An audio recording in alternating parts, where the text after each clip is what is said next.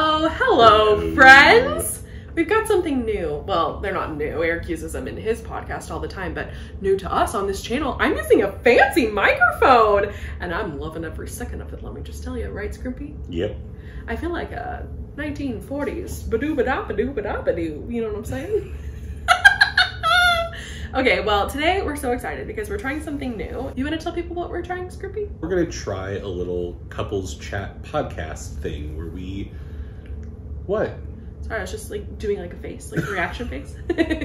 Where yeah, we just sit and talk about whatever kind of comes up. We have an idea for this one, but if you all like it, then we might do it again. So we're not totally sold on this idea, but we thought we would film a YouTube video for our channel in the same format we're thinking of doing a podcast in more seriously, like more long form content.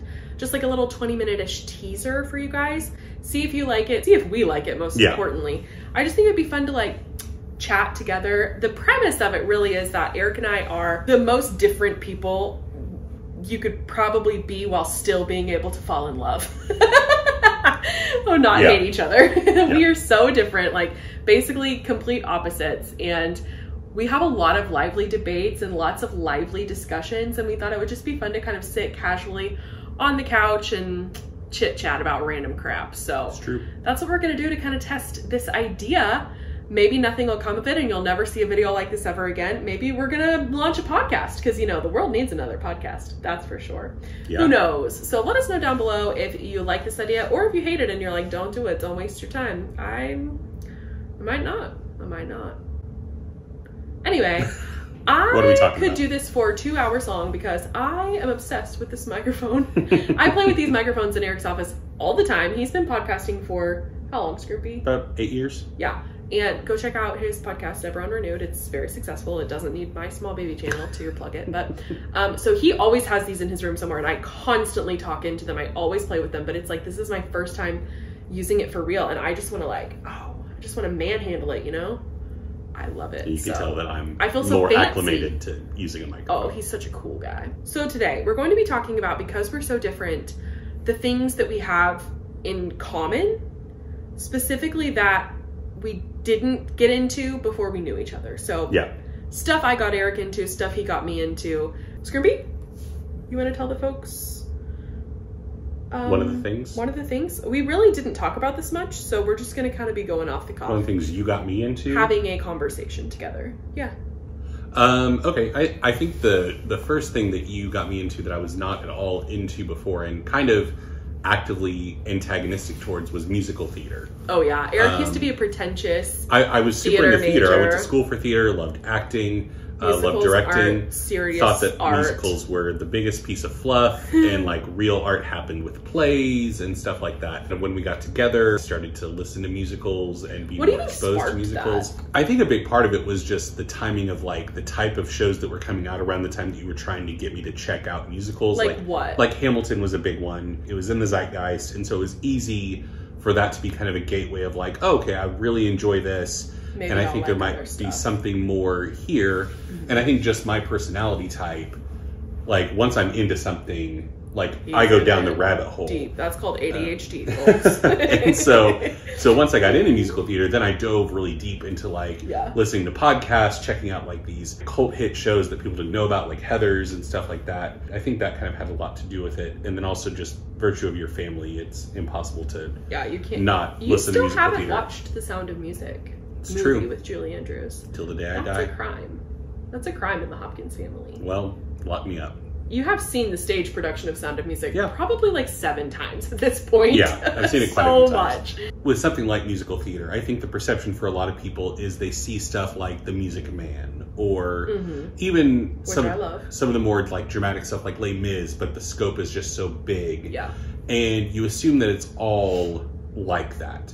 It's it's like it, the first time you experience food, like the first three things you're fed are like ice cream, and it's like okay, I I see what this is, but I'm going to get sick of it very quickly, so I'm not going to go any of further. ice cream very quick. Yeah, if that's the only thing you're allowed to eat, I would get sick of broccoli real quick. I wouldn't get sick of ice cream real quick. Anyway, uh, so once I started to see that there was more substantial stuff out there in the musical theater sphere that like appealed to my sensibilities, like Fun Home, Come From Away, last five years, Uh, yeah, that Hades really, Town. really, and I think we Something might rotten. we might get some gruff if he watches it from our friend Jeff because I feel like he also will claim a bit of ownership of. Yeah, My I'd journey into musical credit. theater. Like a Uh, third credit. Maybe a fourth. so I would say that's that's one of the bigger things that Mhm. I had no interest in that you got me into. and now you're super into it. Yeah. Hardcore.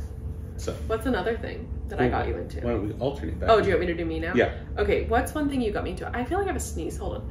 Hold, hold, hold, hold, hold. less. I think your microphones are dusty. I think I've got dust particles coming in my nostrils. Okay, something you got me into. Oh, board games. 100% board games. I had played like the game of life, Monopoly. Sorry, my brother was so into Sorry as a kid. I played Sorry so freaking much. Hungry Hungry Hippos. Um, lots of just normal kid Hasbro games. Yeah. But I didn't even know what like specialty board games were. I remember actually the first time I got into a board game was we went to stay with Philip and Kelly Yep, our friends down in Texas. who we've gone and stayed with. We used to go like every year Yeah, for we used to go for Marvel movies, which that's another thing you've gotten me into. We can talk about that. And I had played a couple of specialty board games, maybe before this, but the first one I remember vividly playing and really liking was a game called Kill Dr. Lucky. yep. It's like reverse clue where you're trying to kill the person. And it was the first time I was like, oh, I get it. yeah, Before we had maybe played a few games that went completely over my head. Like, even by the end of the game, I did not know what was happening. Like, I did not catch on. I thought it was so boring. It took so long. yeah, So until Kill Dr. Lucky, I was like, oh, I could get into this. And then slowly we just started accumulating board games, playing more board games together. We have way too many board games now. We should do a our board game collection. That would be way Yeah, too like long. of three-hour long video, yeah. We started getting all of our friends into board games and having like regular board game nights. That was like 10 years ago. Well, not 10 years ago, but maybe like seven years Yeah. ago. And now we have board game night at our house, if not once a month. Pretty frequently. Pretty frequently. Yeah. And we play board games all the time. Like that's one of our hobbies, I would say, like very typical pastime for us. Yeah. So any so I certainly would never have played a specialty board game on my own without you. So Yeah. that's something I really, really love and enjoy, and it's a huge part of our life that you got me into. yeah. Um, another big thing, once again, that I was, I think that's the big difference is like the stuff that I got in you into hmm just wasn't on your radar or you weren't like, Yeah, I didn't actively. Did I actively hate anything that I now am into? I feel like the only thing I actively hate, and I hate's even too strong of a word, but the only thing I actively have no, zero interest in that you do are video games and wrestling. yeah, I can't think of anything that I like thought was reprehensible that you've changed my mind on that I actively hated. But with you, are you going to talk about Taylor Swift next? Because you Yeah. actively did not like Taylor Swift, and now I turned Eric into a Swifty baby. okay, let's pump the brakes a little bit. It's a Swifty. He's a Swifty. On both, on both counts. I wasn't You're like, like, a, a baby Swifty. You're like a beginner Swifty. I wasn't little like. I was not like the A little toxic, like, baby. a little baby. I'm worried that people are going to think that I was like crap talking Taylor no, Swift and no, no, and no. thought she You was a just bad didn't person. like her music, and you thought Yeah. she was totally overrated because Um, he didn't get it. He didn't get it yet. Yeah. Well, I mean, okay. Here's the thing. Also, And you're gonna say she hadn't written folklore yet, and that's when you figured out she was a true artist, and all her stuff before that is crap, and that's not true. I guess I don't even need to be here at this point. uh, if somebody's going to talk for me. So, oh, we should not start a podcast. We're gonna get divorced. um, so no, like Just kidding. just kidding, right, Strimpy? yes, just kidding. I'd only been exposed to like the hits of Speak Now, Fearless, Red, 1989, and even I would say Reputation. Even was prior to it. It was like 2020 when I started Reputation Taylor a chance. basically a perfect album. uh, could not disagree more. Like I'd only heard the hits, and so as a guy in my like mid twenties, hearing Love Story or Shake It Off. Twenty Two, Shake It Off, You couldn't really relate. Uh, yeah, it, It's understandable. it was just like this. it- It's pop music. It's fine. I've never been a big like fan of pop music. Once I hit college. And so yeah, when folklore came out and you were like, let's listen to this, I was like, oh, this is actually very, very good. And then I started listening to some of the stuff that wasn't as heavily featured, like off of Reputation, like hearing Archer, which what didn't get the same kind of play. What That's on Lover. Lover, whatever. And I can go back and listen to stuff like Love Story and appreciate it for what it is. Mhm. So, I mean, Folklore is obviously my number one album. Evermore is second. And then everything else I kind of parse through. But like when the re release of Red came out, listened to it, enjoyed it. I appreciate Taylor Swift. I like a couple of her albums. But before, like without you, I never would have listened to Folklore. Right, Like I wouldn't right. have engaged with it. What's Uh, your favorite Taylor Swift song? Exile. Yeah, he loves Easy. Exile. What's your second favorite Taylor Swift song? Oh, what's the Last Great American Dynasty? I love that song. That's probably in my top five. Um, What's your third favorite Taylor Swift song? um, are you just going to try to get me to a point I- where I, I can't just- name I- another one? I just I want to know like a few that you like. Champagne Problems. Good one. That's What's good. another one of your favorite Taylor Swift songs? There are other ones that I You like. can't name another one. I- All too I- well, ten minute version. I can name other ones. Listen, all, All too Too well, Well, I have complicated version? feelings about. We're Because not, when, we can't get into that. We when that song dropped. I thought Jake Gyllenhaal had done some heinous stuff because all I saw on the internet was like people calling out Jake okay, Gyllenhaal. okay, okay, okay. And We then I found out it was just a Taylor Swift song. It was like, oh my god. cannot get your opinion about this out there in the world. I'm so sorry, but moving right on. You want along. to give my thoughts on John Mayer? Oh gosh, he's so bad, you guys. He's so bad. Okay, so I got you into Taylor Swift. You went and watched the concert with me. Yeah. There's a vlog about that, you guys. I'll link it up here, maybe if I remember. Who knows? So, another thing that I got you into? Yeah, what's another thing? You tell oh, me. Oh, that you got me into? yeah. Oh, well, I said it earlier Marvel and just like general like nerd stuff. Like, couldn't care less about any of the Marvel movies before we dated. Didn't care about any like any franchise beyond Harry Potter. I really didn't care about. I feel like there's a franchise all. you could speak to that like you got super into What do you thanks mean? to me. Jurassic Park? Yeah. Yeah, that's true. I got into that because of you. I didn't like Jurassic Park before that. I showed you the first three movies in preparation for seeing Jurassic World, and you That's right, and I 'Cause- slipped out. you wa- I didn't even watch Jurassic Park three with you because I hate that movie so much. You're like, no, I'm I gonna love watch it. it. I freaking love it all. I just love that franchise. Like, there's just something.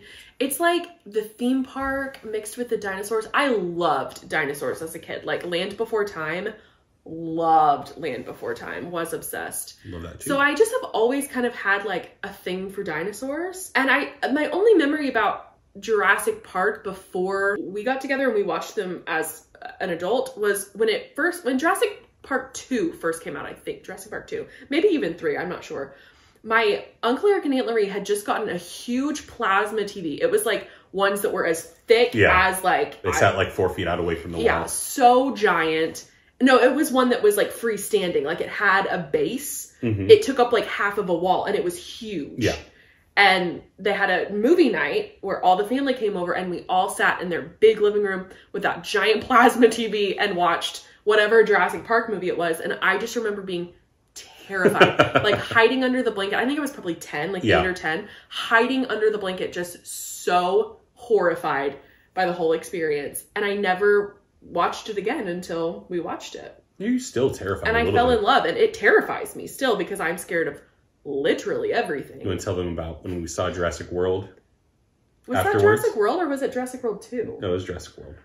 Are you sure? 100%. Okay, well, when we saw Jurassic World, I guess we had watched the first three in preparation for that, and I fell in love with the franchise. Oh, I just love it so much. We saw Jurassic World, which is my favorite movie in the franchise. Mm, no, Jurassic Park is, but then Jurassic World is my second favorite. Anywho, so we saw it in Bricktown, And there was a film Oklahoma festival City. going on. There was a film festival going on, so there was no parking. We were late for the movie. There was no place to park. We probably drove around for 30 minutes trying to find a parking spot. And when I say drive around, just for reference, Bricktown in Oklahoma City. Reference? Reference? You said reference. I did. I, for reference with an R. Bricktown in Oklahoma City is like little pockets of a movie theater, a restaurant, another restaurant, a little canal, Bass Pro Shop. Like there are multiple places to park throughout this little hub that is Bricktown, and there were no parking Yeah. spots, zero. So we had to park under the underpass of the highway, past the Bass Pro parking lot, in a gravel like ditch, basically, is where we parked. And then we had to walk maybe a mile to the It was a very long. movie theater. It, it probably took 20 minutes for us to walk from where we parked to the movie theater, okay? We saw the movie. It was amazing. It was awesome. It was horrifying and terrifying. We walk out of the movie theater. It is 11 o'clock, maybe, Yeah. and it is torrentially downpouring. Yeah, like Sideways rain. rain. The sky is yellow and dark and moody and eerie. Big, thick, Wind fat whipping raindrops, yeah. everywhere. Just you can't see more than like three feet in front of you. Horrifying. And we're like, what the frick do we do? It's 11 o'clock at night. We can't go back into the movie theater because it's literally locked shut. Like they're closing it. Everything around was closed. There was nothing to do other than to like suck it up and Mm, go run. to our car. So we ran to our freaking car in the pouring down torrential rain. I took my shoes off. I was wearing sandals. They were flying off my feet because my feet were soaking wet.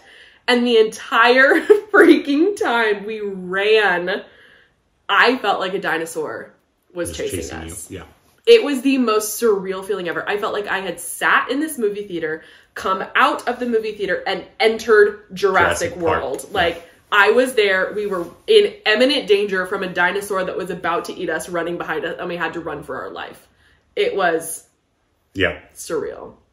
Wow. That was one of the most vivid memories of my entire life. oh, so funny. yeah. Anyway, so yeah, I feel like all of the nerd things you really got me into. Even just like I never would have cared to watch like even like Star Trek or Yeah. And I don't love Star Trek, but I thoroughly enjoyed it. You Even were- like DC films, like I really, really liked the DC Batman and DC Superman, whatever. Never would have watched those ever without you. Well, I remember when we went and saw one of the new Star Trek remakes with Chris Pine and Zachary Uh-huh. Quinto, walking out of it and you being like, "I'm so mad at you." I was like, "Why?" It's like, "Because I'm I'm into Star Trek now, and that's nerdy. I don't want to be a nerd." Yeah, Star Trek is Star Trek Right. is objectively nerdy. Okay. Thought you were gonna say something like better than Star Wars or something. Oh, something. absolutely. What are you talking about? No. Now So- that's that's a franchise I was into before. Yeah. We were hardcore Star Wars fans Yeah. in my house. So I was nerdy about Star Wars and Harry Potter, of course, but that was really it. Yeah. The the what's the one franchise you just simply cannot get me into? Lord of the Rings. I won't do it. I just don't like it. I think it's so boring. I'm not interested in it whatsoever. It's so long, it's so arduous. Which is wild because like the books aren't even nearly as long as some of the books that you read now. Okay, but nothing Like- happens in them. That's a lie. You just didn't get to the part where things happen.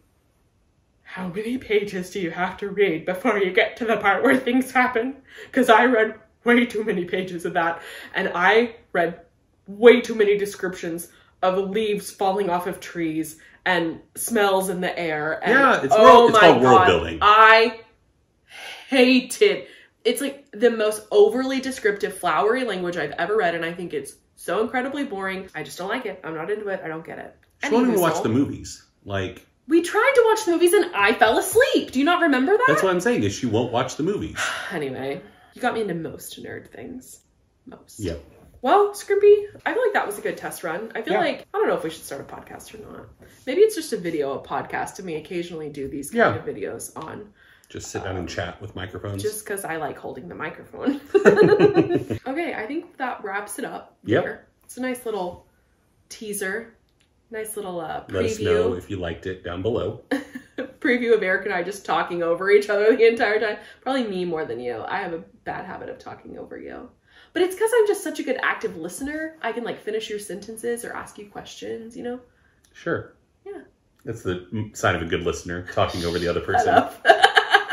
Anyway, let us know down below if you like this, and maybe we'll film some more. Who knows? Yep. Maybe we'll post it on a real podcast. Maybe we'll do like a real dedicated sit down and chat podcast that's like an hour long. People can just lazily listen to as they're on a long drive. They can listen to us fight. Sounds like a nice, relaxing experience for everyone. Anyway, um, thank you guys so much for watching. Don't forget to Smash it. and uh, like the video. We will. Oh, and don't forget to subscribe. Oh, I guess that's what smash it means. Yeah. Smash it. I just am prolonging this so I don't have to be done holding this microphone. Thank you all so much for watching. Thanks for and coming, we'll see you everyone. next time. I'm about to go cut Eric's hair, so definitely stay tuned and subscribe for that. Bye. Bye.